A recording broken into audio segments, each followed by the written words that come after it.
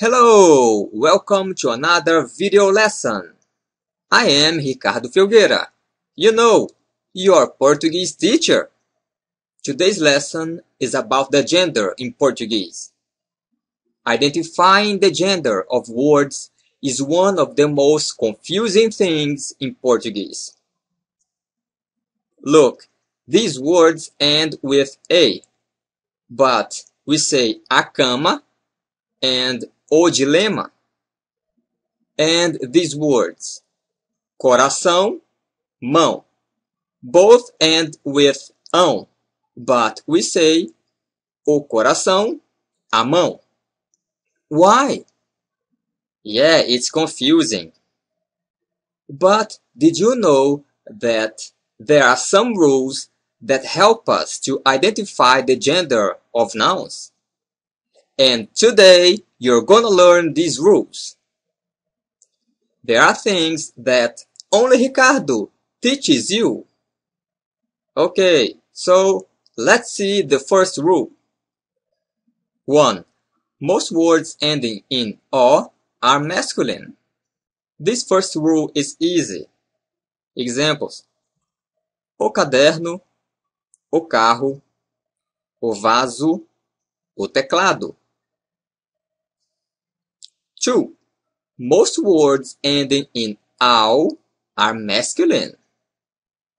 Ritual, jornal, sal, canal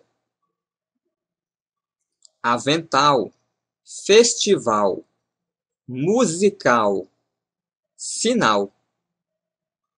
And we have one exception.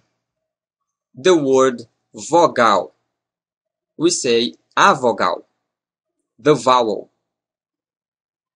3. Most words ending in R are masculine. Examples. Jantar açúcar, amanhecer, lar, hambúrguer, sabor, lugar, amor. And here we have many exceptions. A colher, a mulher, a dor, a flor, a cor. And if you don't know how to pronounce these and other words, check out my pronunciation series. Now things will get interesting. Rule number 4. Words ending in stressed a are usually masculine. Maracujá, sofá, chá. Canadá, tamanduá. Vatapá. 5. Most concrete nouns ending in ão are masculine. Pão, coração, sabão, chão, balão,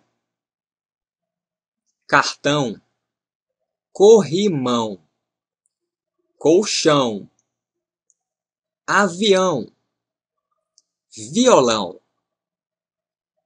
One exception. Mão. A mão. 6. The majority of nouns ending in ema, oma are masculine.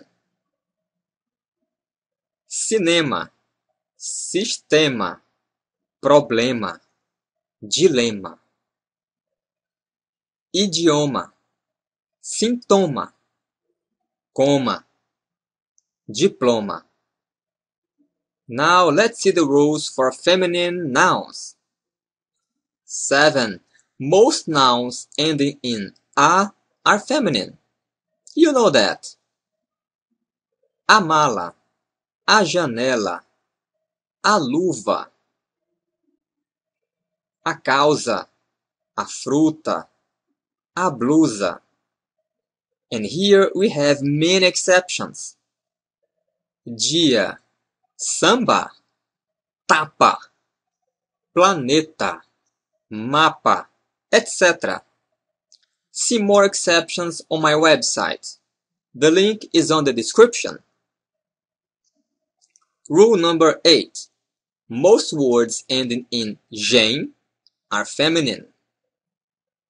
Bagagem, viagem, maquiagem, mensagem. Exception. Personagem. You can say o personagem, a personagem. Before we go to the next rule, I'd like to invite you to participate in my course. Portuguese in record time. It is an online course for beginners who have little or no knowledge of Portuguese and need immediate communication. You can get your free access on the description below. Now, next rule. This one is awesome. 9. Most words ending in dade are usually feminine. Cidade, liberdade, idade, oportunidade, gravidade, maldade. 10. Most nouns ending in são, são, or you can also pronounce zão, are feminine. They correspond to English nouns ending in "tion" or "gion". Emoção, educação, imigração, poluição, imersão, ilusão, visão, missão. Now let's see the words that can be masculine or feminine. 11. Words ending in ista can be masculine or feminine. Jornalista, dentista, motorista, artista. Rule number 12. Words ending in ante or ente can be masculine or feminine. Estudante, viajante, assaltante, gerente, assistente, vidente. Wow, what an amazing lesson! I'm sure I deserve your like, right? And if you want to go deeper, check out my website. There you will find more rules, exceptions, and examples. The link is on the description below. Did you know these rules? Let's talk. Write on the comments below. If you are new here, subscribe and click on the bell to activate the notifications. This way you get updates whenever a new piece of content is posted. Thanks for watching and see you next week. Ciao!